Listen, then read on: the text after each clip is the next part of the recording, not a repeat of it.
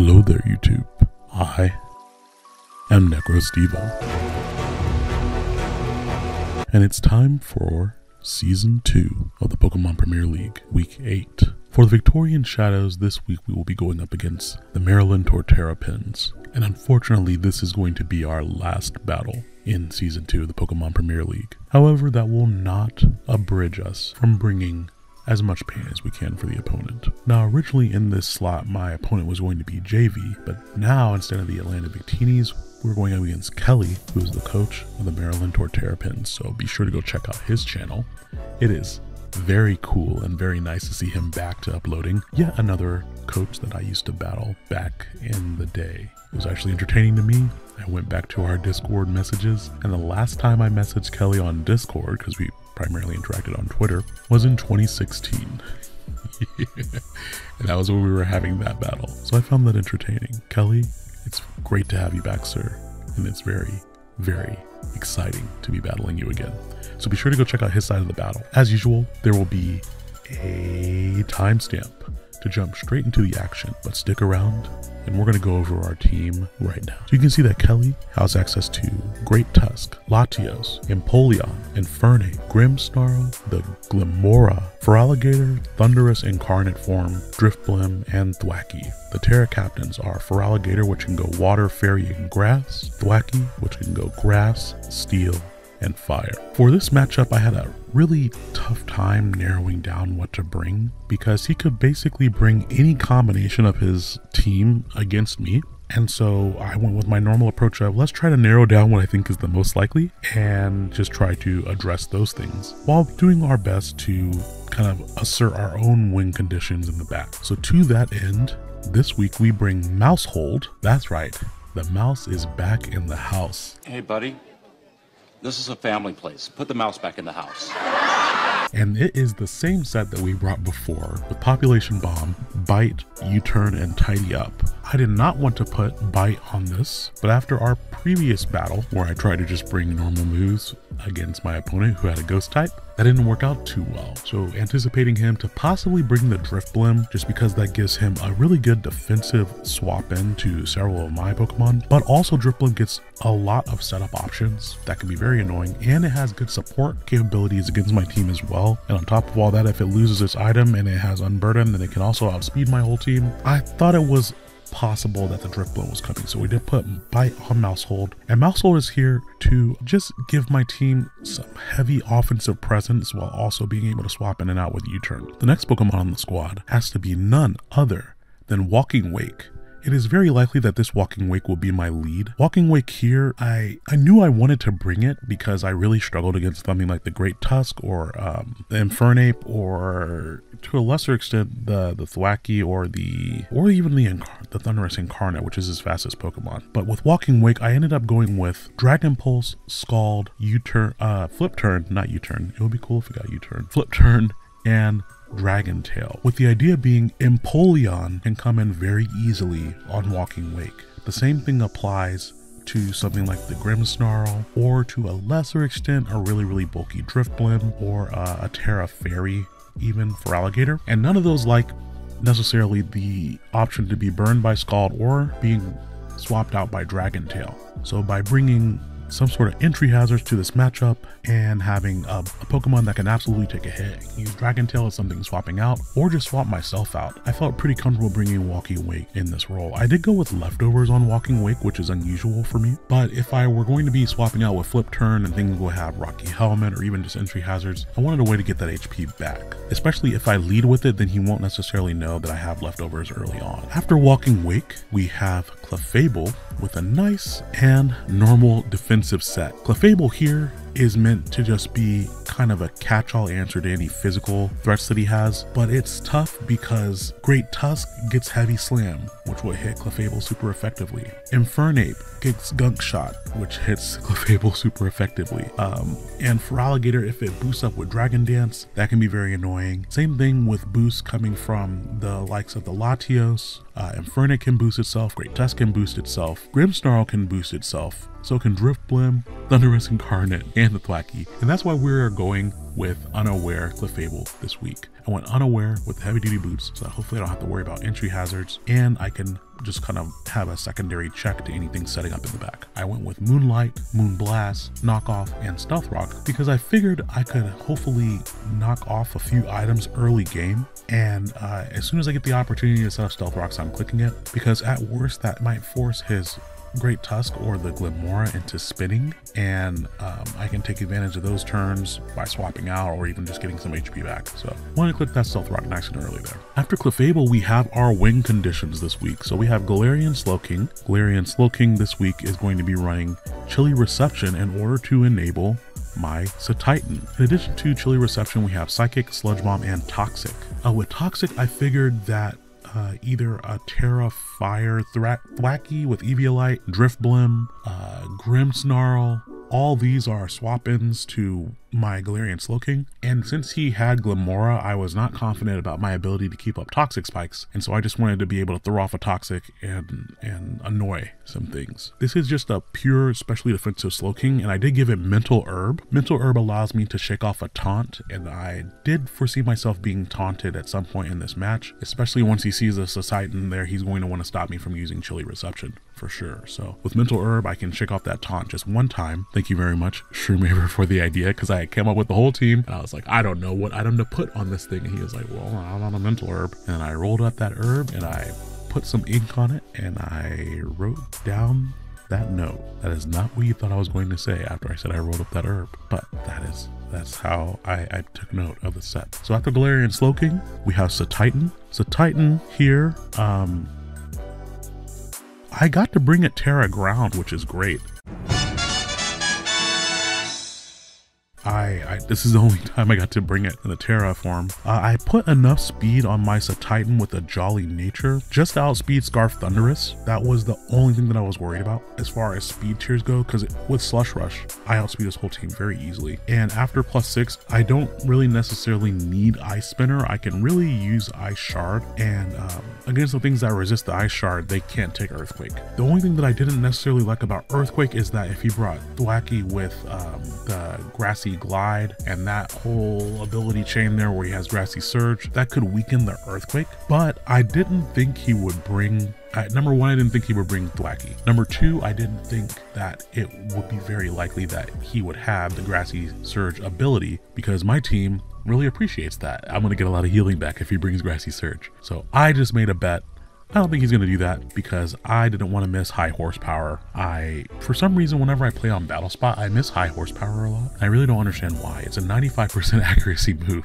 but I miss it relatively frequently. It's quite strange. Speaking of high horsepower, we have our Zebstrika in the final slot. This is another alternate win condition because Zebstrika outspeeds the entire team, and I had fun with this set. Thank you, Icky Sprite, for the idea here. So this is a specially based Zebstrika with a life orb. It has Supercell Slam, Tera Blast with the Tera type Ice, Volt Switch and high horsepower. Now, with the Tera Blast being a special type Tera Blast, I almost like he would have to be like an assault vest or like massively specially invested Great Tusk to live a Tera Blast Ice. That still allows me to knock out the Latias with Tera Blast Ice, barring him having a Calm Mind or something like that. And with Supercell Slam and the Life Orb, I don't really need any attack investment. I put a little there after the the speed that I needed just to outspeed the Thundurus, but I can also one-shot that Empoleon with the Supercell Slam very easily. Again, two moves that are just barely missing out on perfect accuracy, but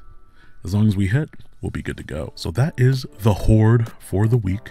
Thank you all so much for watching the team builder, and it is time for the battle. I have to say, it feels so good now that I'm in the groove of actually hit record. I don't know why that was so difficult for me before. For Kelly, we can see that the Maryland Torterrapins have Great Tusk, and Infernape, Drifblim, Glimmora, Thundurus Incarnate, and the Thwackey. So things that I did not expect to see in this matchup. I did not think that he would go with Thwackey, and I also didn't really expect to see the Glimmora and the Great Tusk. I figured he probably only needed one of those removal options. Uh, up against this team, I did like Walking Wake as a lead, as I could hit everything there, bar the Thwackey Tera typing into, I don't know, if it Teras into like a steel type as I go into the dragon type move, or if it Tera types grass and tries to go off really strong move as I am trying to throw off a, a water type move, but also he has to be aware of that um, I could be carrying the flamethrower as well. So we do have that lead here, and I just decided to just go straight for the flip turn. I thought for sure he would raw swap out here or Tera into probably Tera Steel. If he did have Tera Fire, this would punish that option just a little bit more. And I did make the correct call. We see that Thwackey does not have Grassy Surge. It is an Overgrow.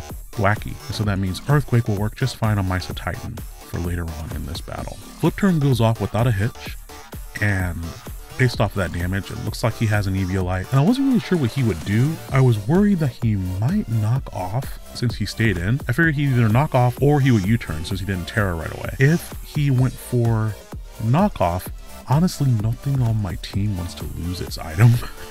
I could have gone raw to the Titan, maybe. That's the only thing that I really wanted. But if he U-turned, I wanted to be in a position to where I could at least hit something or knock off one of his items too. So I did lose my item when I went to Clefable. And right after the knockoff, he also carries Taunt, which is annoying because I, as I planned, if I got the opportunity to go for the Stealth Rocks, I wanted to go for those right away. Granted, he has two spinners on his team, but I at least wanted to pressure him into the option or break focus sashes. So here he gets to taunt me, prevent my Stealth Rocks, and then swap out. I figured since he went for knockoff, I should go for knockoff.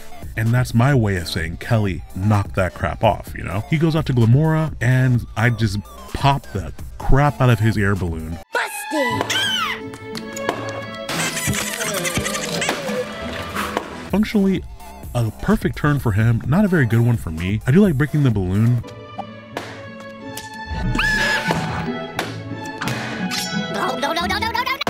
but now I'm really pressured because of Glimmora's um, poison type moves. And when I hit him, the toxic debris ability activated, and now there's a layer of toxic spikes on my side of the field. I feel like the swap into Galarian Slowking is obvious, but I also don't want my Clefable to take a Sludge Wave. And so I go ahead and pull that out that's what she said. And he ends up going for Stealth Rocks. So I could have made a little bit more of an aggressive switch there, but I am happy that I got rid of the um, Toxic Spikes early, just so they weren't hampering my entire team here. He does take the opportunity to set up his Stealth Rocks. And I was like, man, that's what I was trying to do. Now it feels like you are just mocking me. You're mocking me, aren't you? But no, not really. Just just good plays all around. From here, I did want to go for the Psychic just to pressure him. Galarian Slowking has a little bit of four move slot syndrome and gets so many different coverage moves, but that does work to its advantage because your opponent won't necessarily know what it has. Unfortunately here, I end up trading a Toxic on his Drifblim in exchange for getting knocked off again. So now my Clefable has been knocked off and my Galarian Slowking have been knocked off and I needed the items on both. I really needed to keep the mental herb on there in case I needed to chilly reception against something later. I did not want to get taunted. He has removed that option, so now I have to be really careful about when I set that up. He pulls a double switch out right here. I was really tempted to go for the chilly reception, but I I just didn't pull the trigger on it. I just hard swapped out into my Clefable, expecting him to go back out into Thwackey. And I didn't want anything else to lose items.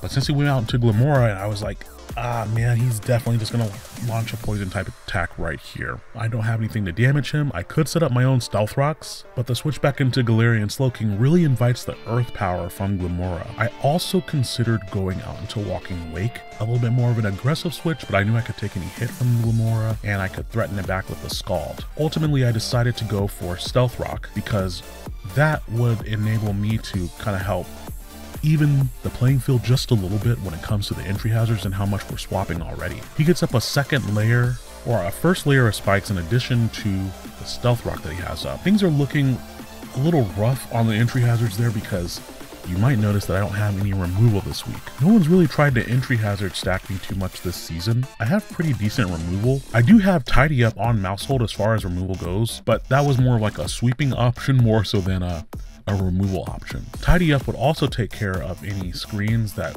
the Grimmsnarl tried to put up on the field, but uh, I do take advantage of him just setting up entry hazards. Now he has two layers of spikes and the Stealth Rock.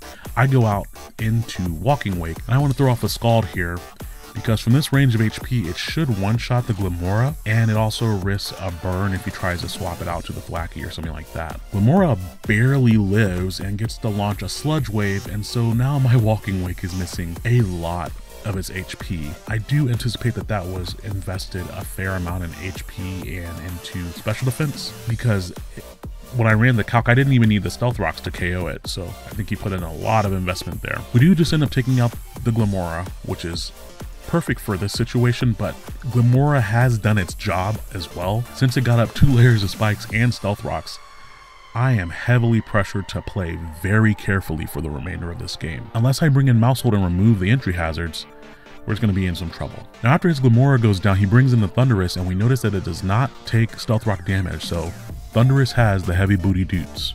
And that's great because that means that it doesn't outspeed me, but that also means that he's not locked into a move if he were to say go for Choice Specs Thunderbolt or something like that. Now here I figured that the swap into Zebstrika was way too obvious because the electric move is basically free against my team. So I went out to Galarian Slowking expecting him to expect me to bring in my Zebstrika, but he just goes for Thunderbolt and I didn't know if he knew that Zebstrika was immune to that or not, and so I take damage on my Galarian Slowking. I would have actually taken that very nicely if not for all those entry hazards that were up. I did consider throwing off a Toxic here, but I figured he would probably stay in an attack.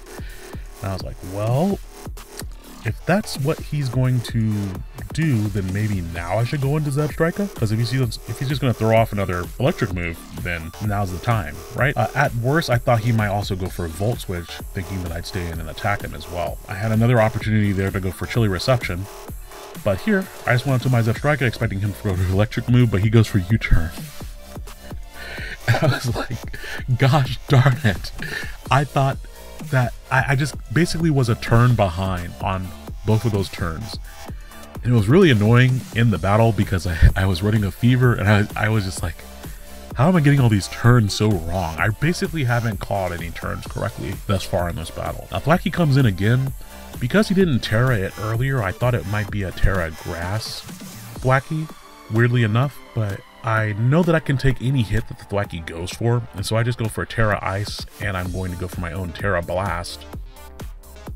I figured if he stayed in, he would probably either be Steel or Grass. He goes for his own Tera, and I was dismayed as soon as I saw the red flash that this was a Tera Fire Thwackey. And I was just like, oh, I went for Tera Blast. Did he go for his own Tera Blast? Because this isn't going to do any damage. I, I literally took more damage from my Life Orb recoil than I did to him. Just goes for knockoff again. Gets rid of my life orb. I go for high horsepower and I miss.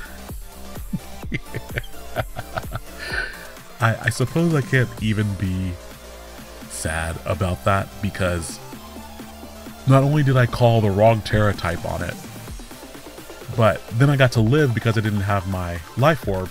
And so while I could have KO'd him now that he was weak to the high horsepower, I ended up missing there as he goes for U-turn, knocks on my Zebstrika. And I was just like, okay, I don't really know what to do here.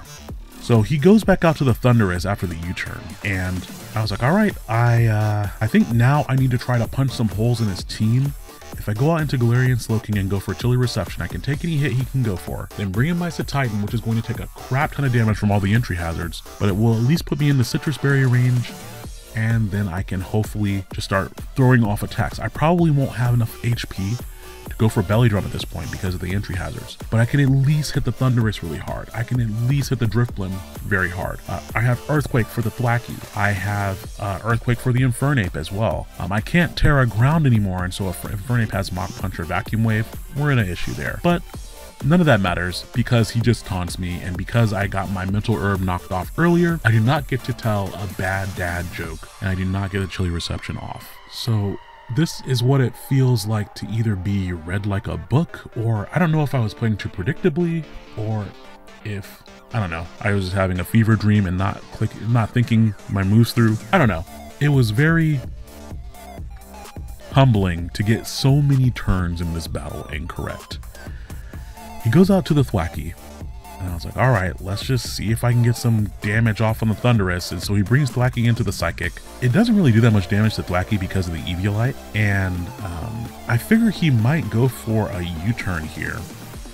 But I didn't really want to stay in because I was in a situation where if I stayed in and I went for psychic and he went out to a Drift Drifblim, that could be annoying if he tries to set it up if he had some way to restore his HP. So I went back out to Clefable hoping that I could um, just take like another knockoff if he went for it. He did go for a U-turn and I was like, okay, well, uh, I'm not really sure what he wants to go for right here. And I figured I could get my HP back.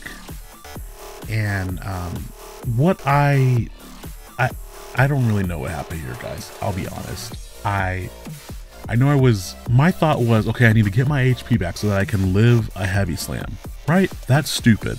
We'll just go ahead and say that right there. I don't know. I think that was actually honestly a checkmate position because now that he has plus one speed, he outspeeds my whole team and I don't have a way to get up chilly reception so that I can outspeed him. So heavy slam wipes out my Clefable. And it was not until I clicked go out walking wake until I, that's when I realized, oh right, he just got plus one speed from the rapid spin. So after the entry hazard damage, I've functionally sacrificed walking wake at this point, and I was like, well, that worked out actually because uh, since his defenses were lower, I can just go out into Titan and um, hopefully do a lot of damage with the Ice Shard. So Titan comes out, takes a lot of damage from all of those entry hazards there. I was like, okay, I depending on if he's bulkier, I actually might be able to live a hit from here. But again, I just completely forgot that this thing gets close combat. I was thinking, okay, if he goes for the headlong rush again, I'm good. And I'm also heavy, so if he goes for heavy slam, I'm good. But he has close combat, so he doesn't need either of those options. So kind of in the end game here, I, I kind of threw it all away, honestly. And I don't, I don't really have a good reason for that. I I know that I sh I shouldn't have been battling under the condition where I wasn't feeling as well. But sometimes you just gotta get in there and get the battle done when you're feeling like that. I've basically had COVID for this whole season, but this is the only battle this season where I would just felt like I got horribly outplayed. Uh, and then I made a lot of misplays as well. But that being said, I still got to battle Kelly, which was kind of cool. Things that I didn't have on my bingo card for 2024, for sure. So, not the way that I wanted to end this season, but we did make it to the end of the season. We lose our final battle in the Pokemon Premier League Season 2, but this is a very familiar gambit for those of you who have watched me before. I tend to come into a metagame and then do very poorly the first time I'm doing it, and then the next season, because I did so poorly the first time, everyone tends to underrate how I play, and that leads to some very fun upsets. All of that said, thank you all so much for watching this battle and watching this season. I would love some feedback on if you all would like a, a little bit of a recap video to the season or um, if you all want to see me do more draft league content. This was fun to do. It's not fun to lose, but it was very fun to kind of knock the, the dust off and get back into battling. I really would prefer an It's Gator approach to coming back to battling after so long, but we cannot all be that powerful or in some of his battles that lucky. But uh, thank you, Kelly, for the battle. I will talk to you all soon. And let me know if you'd like to see me do any other draft leagues, or I could take a page at a Q the Costa Rican and do Battle Spot, or just random uploads like I used to upload uh, theme teams. Like I had a Persona 3 and a Persona 4 theme team, I had a Powerpuff Girls team. Let me know, and I'll probably do uh, video outside of this, just kind of talking about things generally. Hope you all have a good day. I'll talk to you soon. Goodbye.